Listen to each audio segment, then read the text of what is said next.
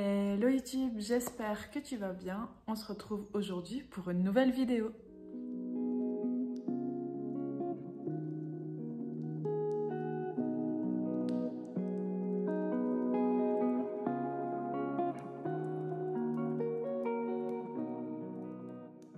Aujourd'hui, on se retrouve donc pour euh, une vidéo d'un concept que j'aimerais bien mettre en place euh, sur la chaîne, donc un genre de rendez-vous régulier. Il s'agit euh, d'un retour de bibliothèque. Pour moi, ça s'apparenterait à un book haul, mais euh, de la bibliothèque. Donc euh, voilà. J'aime beaucoup en fait regarder les book hauls et vous tourner des book hauls, mais je me rends compte que bah, j'en achète pas tant que ça des livres. je suis une grosse consommatrice de la bibliothèque mais j'achète pas assez de livres pour vous faire des book hauls réguliers. Et je trouve que la bibliothèque, la médiathèque, c'est toujours un, un moyen super pour pouvoir euh, se fournir des livres et je trouve que c'est pas assez mis en avant sur Booktube. Donc voilà, j'essaye d'amener ma petite contribution pour faire euh, la promotion de la bibliothèque et euh, voilà montrer que bah, on n'a pas besoin forcément d'acheter plein de livres pour lire, qu'aller à la bibliothèque c'est tout à fait ok. Évidemment je dis pas du tout ça pour critiquer les gens qui font des book hauls, j'en ai fait, euh, j'en referai quand j'aurai des livres à vous présenter que j'ai achetés.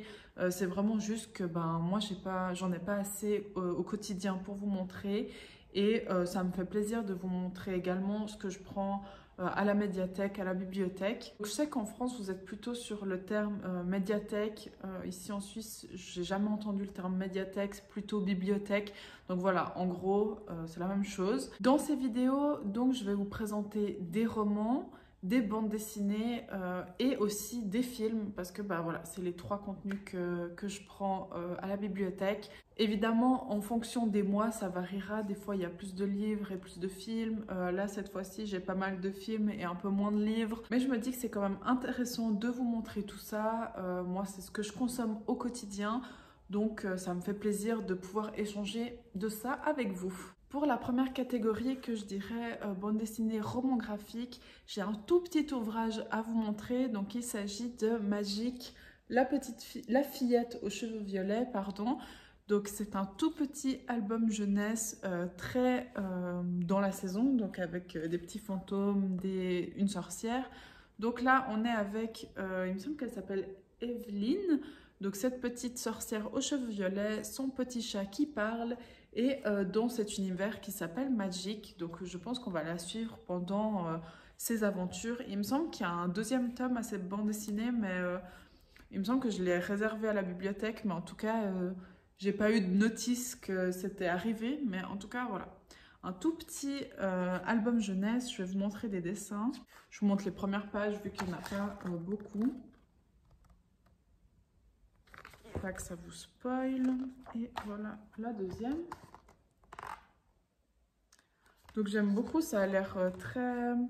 La colorimétrie, elle a l'air euh, vraiment super belle. Les dessins, ils sont un peu, je sais pas comment dire, presque informatiques.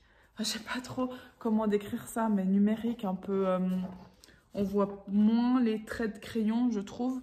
Donc voilà, j'y connais rien en dessin et en bande dessinée et tout ça. Donc vraiment, euh, soyez indulgents sur mes propos parce que euh, ça veut peut-être rien dire ce que je suis en train de vous dire. Mais voilà, donc pour les graphiques, j'ai pris que euh, ce petit album.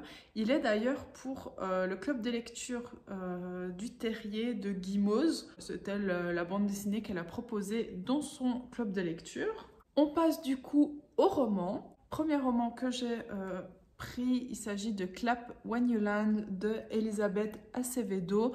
Donc, euh, c'est l'autrice de With the Fire on Eye que je vous ai présenté euh, il n'y a pas longtemps dans les dernières vidéos. Euh, j'ai pris celui-ci, j'ai déjà commencé à le lire, je le lis en, en audio.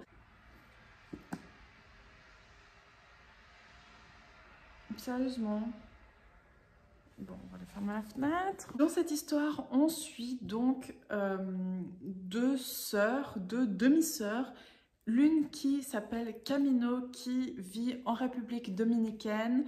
Euh, Camino doit recevoir du coup la visite de son père, euh, mais malheureusement l'avion de son papa euh, se crache. Donc voilà, elle, elle l'attend sur l'île de la République dominicaine, mais lui n'arrivera jamais. Donc elle, elle est dans ce, côté de tristesse, elle voit l'avion qui se crache. Et de l'autre côté, sa demi-sœur qui s'appelle Ya, Yahaira, donc qui elle habite à New York. Et du coup, son père s'en va pour aller en République dominicaine et bah, l'avion se crache. Donc elles ont leur papa en commun, mais elles ne savent pas Yaira sait hum, que, son père a une autre famille, une autre histoire en République dominicaine, mais il me semble pas que Camino euh, le sache. Donc euh, pour l'instant dans l'histoire, euh, c'en est là. C'est le synopsis. C'est donc la réunion de ces deux jeunes filles suite au drame de la mort, de la disparition de leur papa. Donc j'en sais pas beaucoup plus pour l'instant. J'aime beaucoup les deux points de vue. C'est toujours excellemment bien écrit. Elisabeth Acevedo, en tout cas sur ces, deux romans, là ça me déçoit pas du tout.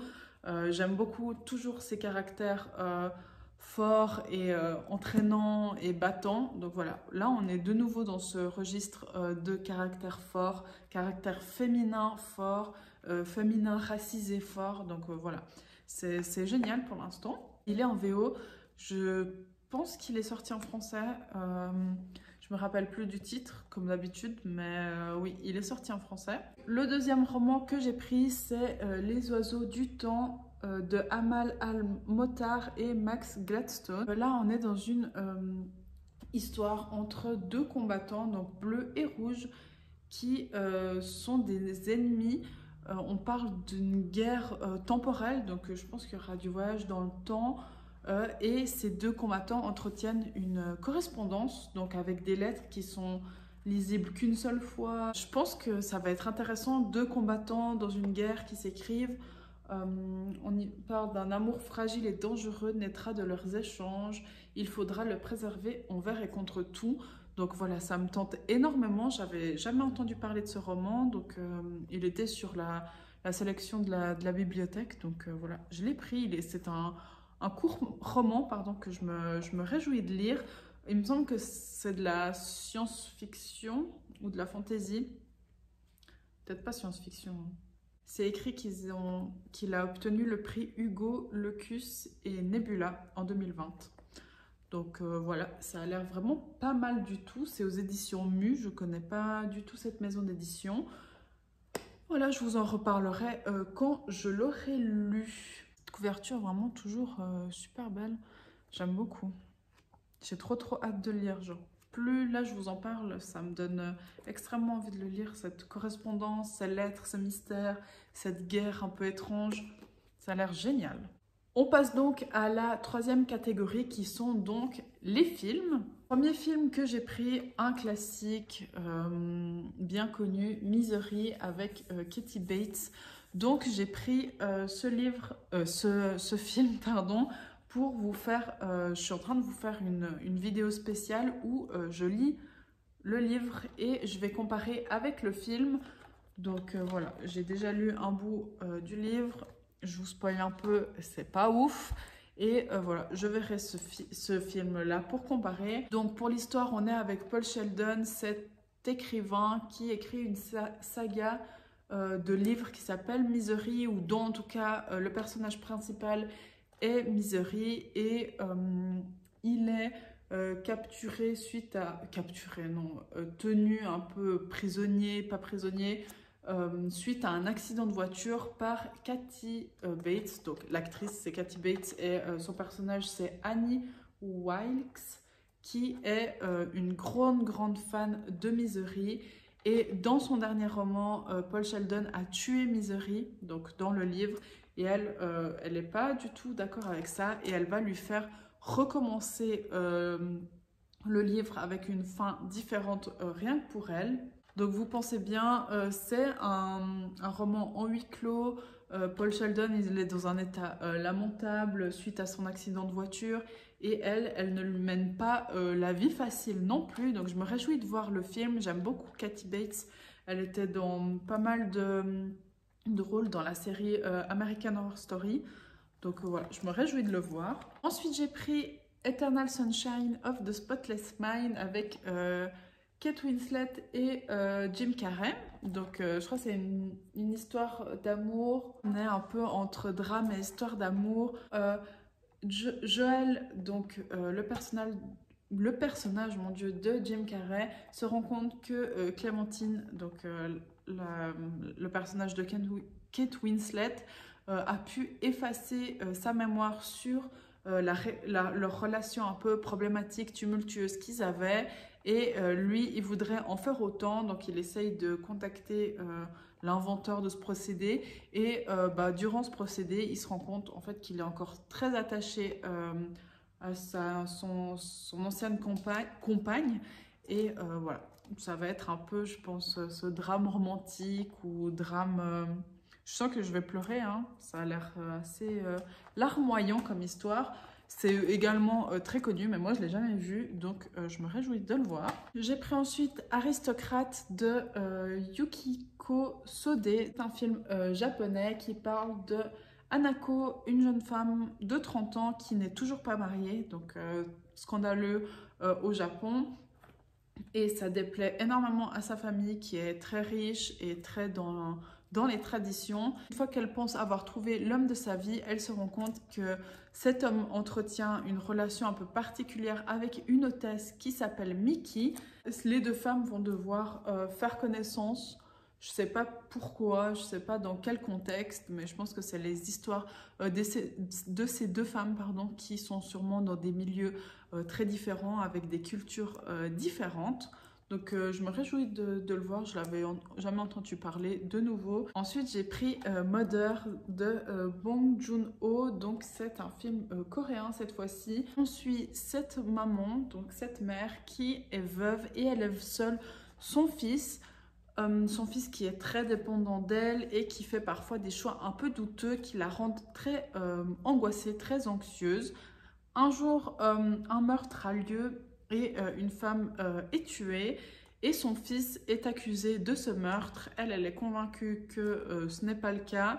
elle engage un avocat qui est incompétent et son fils est du coup accusé de ce meurtre et c'est l'histoire de cette mère, de son, combat à elle quand elle décide d'aller chercher elle-même le meurtrier, donc pour faire justice elle-même pour son fils. Il me semble que c'est le, réalisateur de, Parasite. Si je dis pas de bêtises, c'est pas écrit parce que je pense qu'il est sorti euh, avant Parasite. Donc c'est écrit euh, The Host et Memories of Murder, donc euh, des films que je connais pas.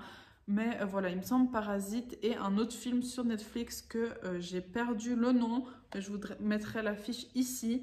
Euh, il me semble que c'était un conte qui parlait euh, d'écologie, mais je ne l'ai pas vu non plus pour l'instant. Et dernière chose que j'ai pris à la bibliothèque, ça je ne vais même pas vous en parler, c'est euh, le coffret du Seigneur des Anneaux, donc la trilogie.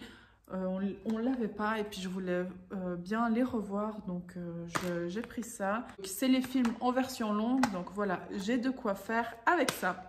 Voilà, j'espère donc que cette vidéo euh, vous aura plu, que ça a pu peut-être vous donner des idées euh, de lecture.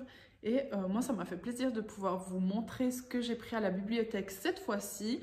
Si la vidéo vous a plu, n'hésitez pas à laisser un petit like et à laisser des commentaires si vous en avez envie. Ça me fait toujours très très plaisir. Et en attendant, moi je vous souhaite plein de belles lectures, plein de belles choses et on se retrouve pour une prochaine. Ciao Naya. Naya Bonita Baby